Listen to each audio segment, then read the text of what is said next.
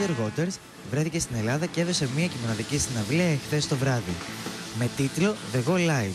Καθ' όλη τη διάρκεια της συναυλίας ένα τείχος χτιζόταν επάνω στη σκηνή όπου στο τέλος γκρεμίστηκε.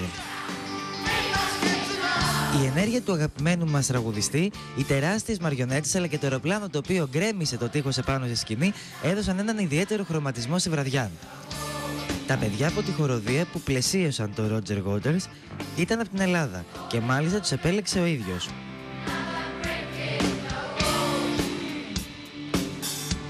Τέλος, ο Roger Waters ευχαρίστησε τους Έλληνες αλλά μίλησε και για την κρίση και παρακαλώ πολύ στα ελληνικά. Είμαι πολύ χαρούμενος που βρίσκομαι εδώ.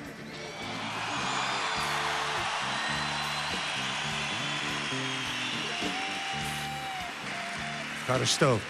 Θα ήθελα να αφαιρώσω αυτή τη συναυλία στον Jean Charles de Menezes και στην οικογένεια του για τον αγώνα τους για την αλήθεια και τη δικαιοσύνη.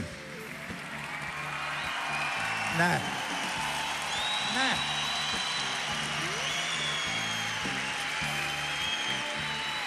Και σε όλα τα άλλα θύματα της tikis tromokratijas, se olo to kosmo.